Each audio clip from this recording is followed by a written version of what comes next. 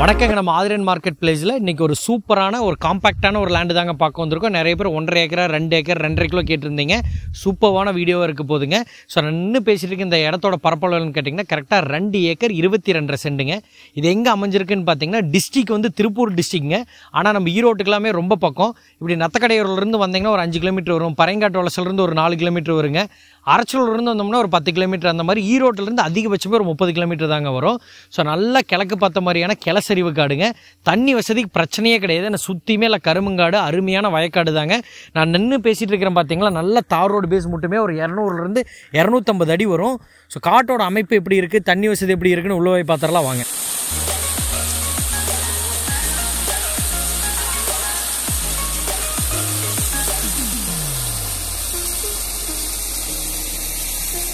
うん。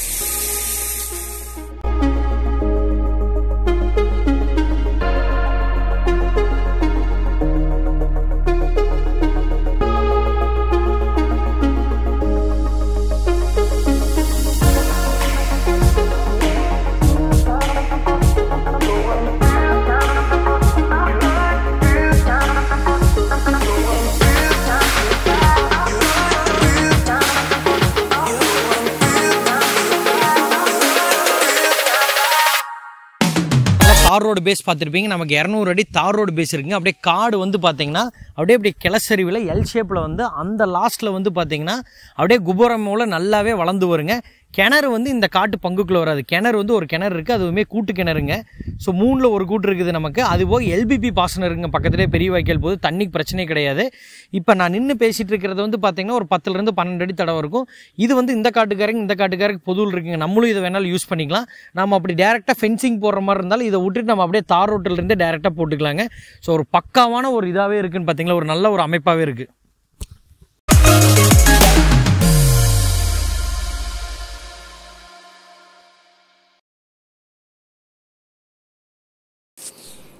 இப்போ நீங்கள் பார்த்துட்டு இருக்க கிணறு இந்த காட்டுக்கு சேர்ந்த கூட்டு கிணறுங்க மூணில் ஒரு பங்கு இருக்குது காடு இது அதிகமாக இருக்குங்காட்டி பார்த்தீங்கன்னா வாரத்தில் மூணு நாள் முறை இதுக்கு வந்துடும் தண்ணிக்கு என்றைக்கும் பிரச்சனையே கிடையாதுங்க. கூட்டு கிணறுனா இந்த பார்க்குற நீங்கள் பங்குக்குள்ளே வராது. காட்டை ஒட்டி தள்ளி தான் வருது. அதனால் கம்பி வரி போகிற நாள் போட்டுக்கலாங்க.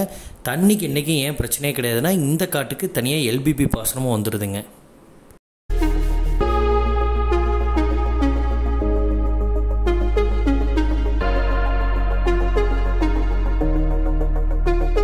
தோட்டத்தோட மொத்த அமைப்புமே பார்த்துருப்பீங்க. நல்லா தண்ணிக்கு பிரச்சனையே கிடையாதுங்க. நல்லா கூட்டு கிணறாவே இருந்தாலும் உங்களுக்கு சர்ப்ளஸாக இருக்குது அதுபோக வாய்க்கா பாசனம் இருக்குங்க. சுற்றியுமே எல்லாமே தென்னந்தோப்பு தான். இந்த ரெண்டு ஏக்கர் இருபத்தி ரெண்டு சென்ட் வாங்கும் போதுங்க ஃபியூச்சரில் மேபி பக்கத்தில் இருக்க ஒரு ஏக்கரை நீங்கள் எக்ஸ்டெண்ட் பண்ணலாம். அப்படி பண்ணும்போது உங்களுக்கு ரோடு பேஸ் ஒரு முந்நூறு அடிக்கு மேலே வந்துடும் பர்ஃபெக்ட் ஸ்கொயர் ஆயிருங்க. இப்போ இருக்கிற பொசிஷனில் நீங்கள் வாங்கினீங்கனாலுமே ஒரு பர்ஃபெக்டான தோட்டங்க நல்லா கிளசரிவு இப்போ நான் நின்றுட்டுருக்கிறது அந்த குபேர மூலைங்க நல்லா வந்து பார்த்தீங்கன்னா நல்லா வளர்ந்து வருது.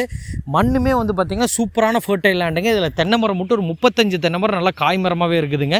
தண்ணிக்கு நான் சொன்ன மாதிரி எந்த பிரச்சனையும் இல்லை. எல்லாத்துக்கும் ஈஸியாக தான் இருக்குது பக்கத்தில் வீடுகள் எல்லாமே இருக்குங்க. இதனுடைய ப்ரைஸ் எவ்வளோ சொல்கிறாங்க பார்த்தீங்கன்னா பர் ஏக்கர் வந்து ஐம்பது லட்ச ரூபா ஃபைனல் ரேட் சொல்கிறாங்க பஸ் நம்மளாம் நம்ம குறைக்கலாங்க. ஸோ பிடிச்சிருந்தா நம்ம நம்பருக்கு கால் பண்ணுங்கள் நல்ல ரேட்டுக்கு முடிச்சிடும் ரொம்ப ரொம்ப நன்றி. தேங்க்யூ